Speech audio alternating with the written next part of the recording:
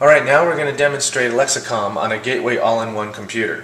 And the all-in-ones also have a touchscreen. So here, I'm going to click on the shortcut and it's going to open up the full page with the browser uh, URL space and all the different buttons. To minimize that the, the stuff on the screen, I'm going to hit the F11 key on the keyboard and it makes the stuff on the top go away so your Lexicom page takes up the whole screen.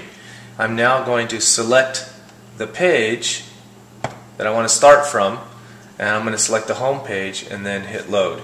So basically your page pulls up and now I'm going to demonstrate how it functions. Food and drink. I want something spicy. Salsa. I want something spicy. Salsa.